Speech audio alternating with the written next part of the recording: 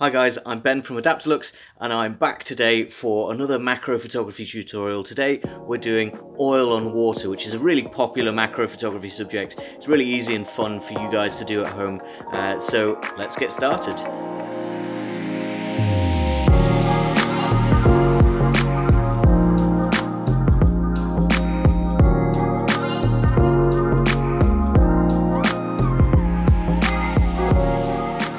So oil on water, probably one of the most prolific uh, macro photography subjects that I see uh, people trying out when they first get their macro lenses, simply because it's so easy to set up and do at home and get some really cool, interesting and varied results, um, all from the comfort of your coffee table.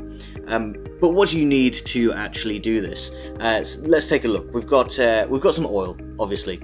Um, I've got sunflower oil, but any cooking oil would uh, would work just the same. So uh, vegetable oil or olive oil, uh, they'll all create that film, that layer of oil on top of the water.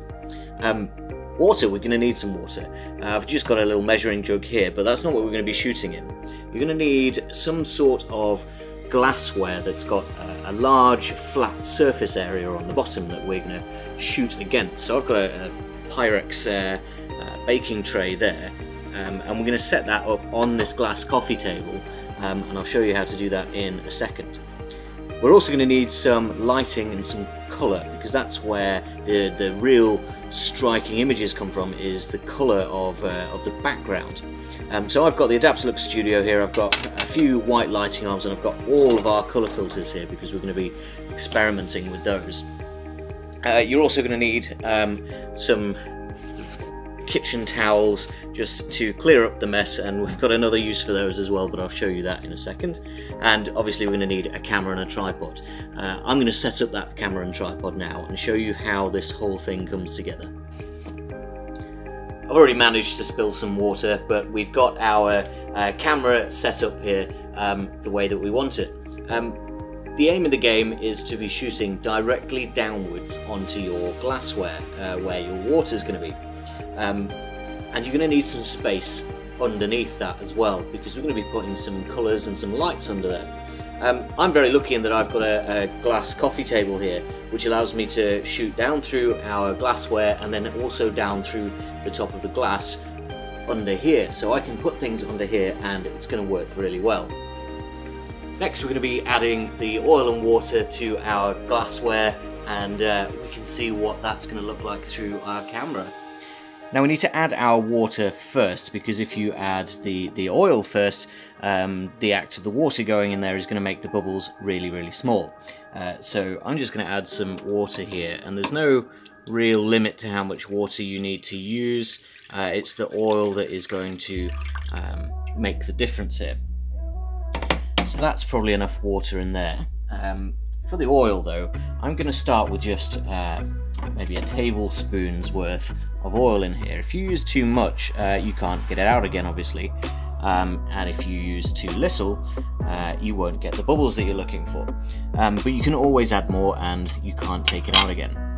So now that we've got some oil in there, I'm just going to very gently stir this and see what kind of bubbles we're, we're getting forming on the top of here, and whether or not we've got enough oil. Um, I'm liking the look of this so far, so I'm going to pop this under the camera and see what we can see. So I've popped our mixture underneath the camera here and you can see that there's there's not a huge amount to see right now. Um, what we need to do is make sure that our glassware is centralized uh, in the frame because there's a big Pyrex logo on the bottom with some uh, with the remnants of a label and there's also the edges of the, the tray so I'm going to make sure that I'm shooting through this little area just here and that means that we're not going to see any evidence of the, uh, the tray or the, the glass underneath here. Our next step is going to be to add some colour and some lighting. So what goes underneath our, our mixture? Uh, well, I've got the Adaptalux Studio here and I've got three lighting arm S's which are a slightly brighter version of the normal white lighting arms. Um, I'm going to plug all three of these lighting arms in and I'm going to position them so that they're all quite close together. Um, and then I'm going to pop on some colour filters. So I've got a green colour filter on this arm, I'm going to pop a blue one on as well, and I'm going to try red on the outset as well.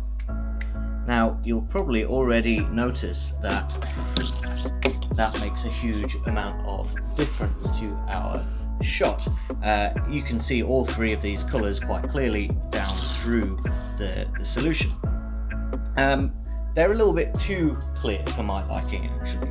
Um, so this is where I mentioned that we're going to be using our uh, kitchen roll for another purpose and we're going to use that for diffusion. So I'm just going to pop that straight over the top of our colours and that's going to create a nice even layer of, uh, of colour for our diffused material. Then looking through our camera you can see that you've got a really nice uh, even spread of the three colours across the background of our solution. Um, focusing, you want to be focused on the bubbles themselves, not on this background. If you focused on the background, the bubbles would just serve to create some sort of distortion in there and you wouldn't be able to see them. So let's take a really quick look at our camera settings. Um, I'm shooting at 1 320th of a second, which is really good for when you're taking um, stills, and that means that you can freeze the motion of the bubbles as they move around. Um, my ISO is at 200, and my aperture is set manually via, via the lens at uh, f2.5. Uh, that's really quite wide, and there's a reason for it being that wide. Uh, it's to make the depth of field as shallow as possible. We really only want to be focused on the bubbles themselves and everything behind that needs to be out of focus. So a really um, wide aperture is, is great for, for achieving that. Um, speaking of focus, there's a really great tip for if you're using a live view camera like this um, and focusing manually. You can select uh, an area on your image and use the zoom functions on the back of your camera to zoom in and choose your focus very, very precisely. So getting in this close, it makes it very, very easy to focus manually and accurately.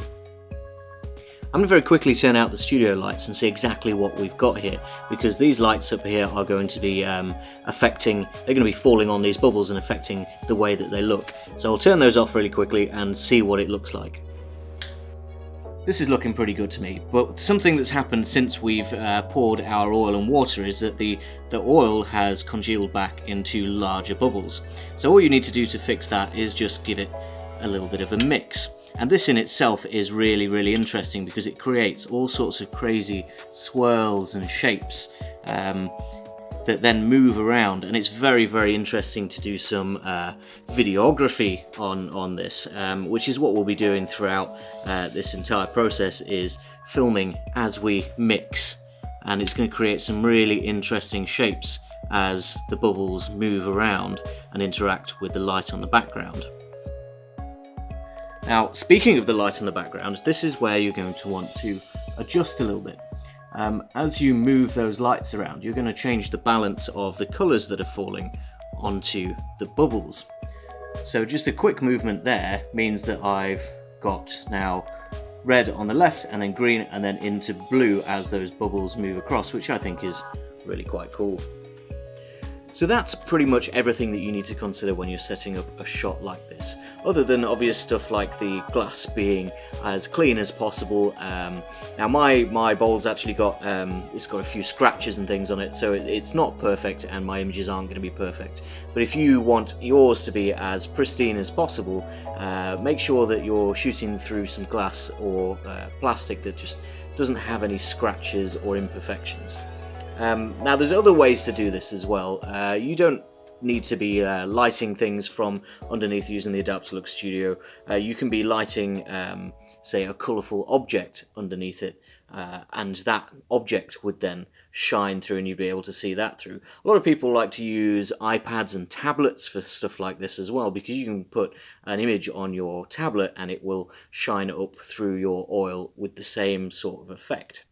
Um, Again, you don't need to be using a coffee table either. You can stack up a, a bowl or a piece of glass on, say, some some books and raise that up off the off the floor so that you can then fit things underneath it. That's a really great way of setting this uh, this up.